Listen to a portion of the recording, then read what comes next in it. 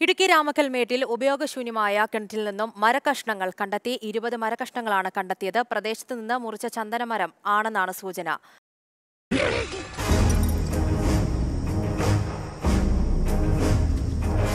ദമു എന്ത് പറ്റിയടാ? ഏയ് ചായ നെറുകന്തലേ കയറി ബ്ലോക്ക് ആയതാ.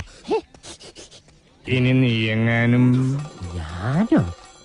പോടാ.